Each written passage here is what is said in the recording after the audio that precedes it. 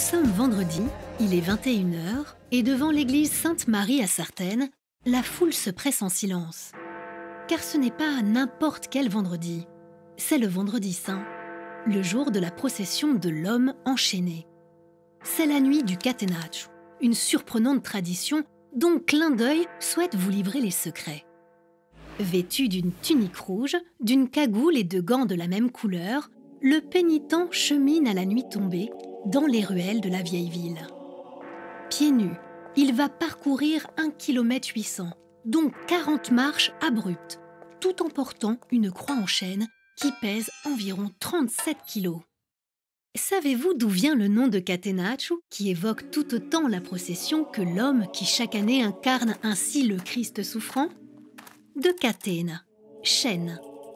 Car dans son sillage, le pénitent traîne une chaîne de près de 17 kilos accrochée à sa cheville. Accompagné d'un pénitent blanc, il lui faudra en moyenne deux heures pour venir s'agenouiller dans l'église, chutant trois fois sur le chemin, sous les prières de la foule, comme le Christ avant lui.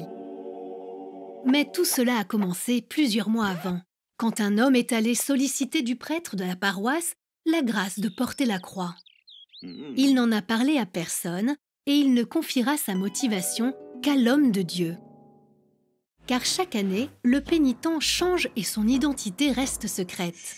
48 heures avant la procession, il se retirera dans un couvent pour se recueillir et préserver l'anonymat.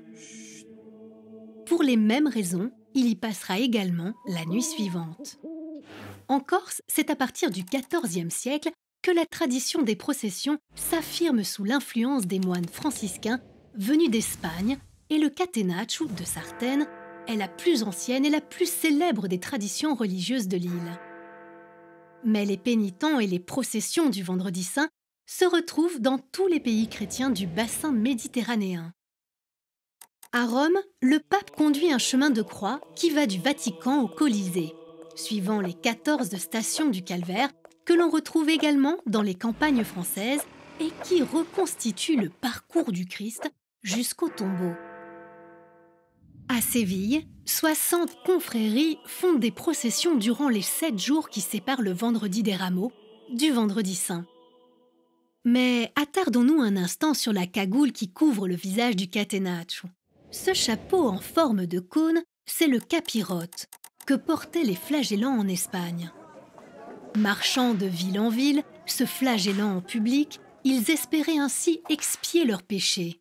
Si aujourd'hui on ne se flagelle quasiment plus, le capirote est encore très souvent porté dans de nombreuses processions en Méditerranée.